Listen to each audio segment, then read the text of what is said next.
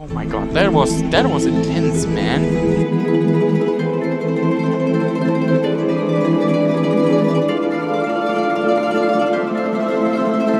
So, here we are once again. Best of five.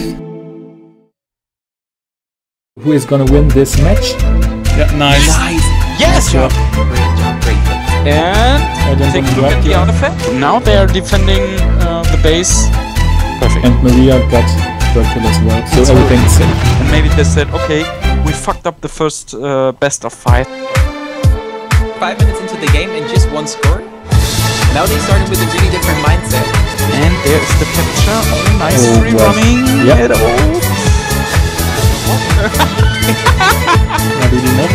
And now, oh! Perfect. Now he should be able to go up.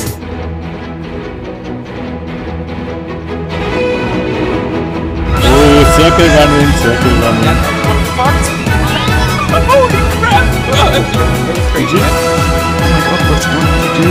She shielded. So there's no rebound pod or some other bullshit like this. I mean, I have to say that Cardi is an amazing attacker. He really gets out of a situation you would never think of. Great. Um, I mean, he died now. it's like not really supporting to my argument.